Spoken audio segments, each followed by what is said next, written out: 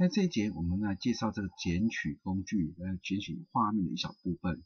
那这个东西呢，怎么呼叫出来呢？其实从这边啊，然后搜寻这个剪取工具，我就可以看到这个工具。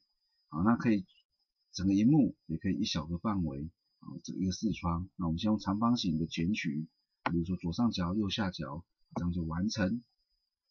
啊，它会跳出一个视窗，你可以去做一些简单的修改。不过我们现在就直接把它存存档哈，比如说存成这个一哈，好。那我们现在呢，再把它这个东西啊加到 PLS 里面。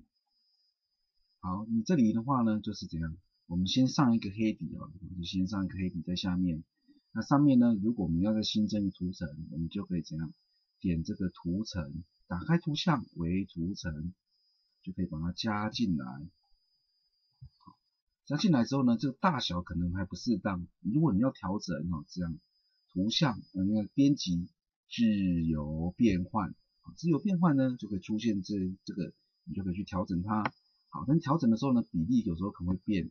要确定比例不变，按住 Shift 再缩放啊，按 Shift 再缩放的时候呢，它就会等比例的缩放哦。如果没有的话呢，它可能就变成不等比例的缩放。好，这样子就完成。好，那如果你你现在想要让它变黑底，我先就是先套用这个修改，然后一样在这，我们现在在上面这个图层哦。这时候就点这图层，嗯，点这个调整，然后反转，这样子就变成是一个哎黑底啊白字的一个效果。